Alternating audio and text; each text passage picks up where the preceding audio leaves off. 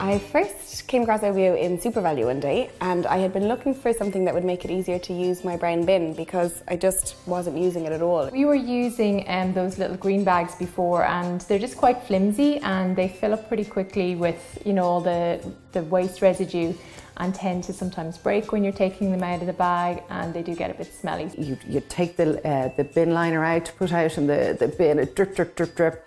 I would often put it out to be collected even before it was full because I was conscious of the smell. It's a good way to cook in your kitchen. I strap on my apron, I sharpen my knife, I put my chopping board on the counter, and now I put my Obeo box right beside it. Prep the dinner on the countertop, vegetables straight in, close it up, no smell. It sits quite nicely in our kitchen actually. It's just so much neater, it's so much more convenient. You just put that in the brown bin and off you go again, you're ready to start. I found the brown bin itself is an awful lot cleaner. But now with Obeo, you know, I fill it right up to the top. We've been using it for about three or four months now and never once has it started ripping or anything like that. They're very strong.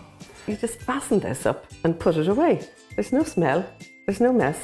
Everything is in perfect order. And you can use it for up to three days. The price difference is worth it for us because of just the time I save every day. Um, with a young baby in the house, you don't really have time to be doing extra jobs like washing out food bins. It's not just a, an accessory, it's a helper. The other bags, um, the disposable bags, it's, they're false economy really because you end up changing them daily. I mean, they're delivered to our door as well, so we don't even have to pick them up in the shop, so it's really good. We all love them.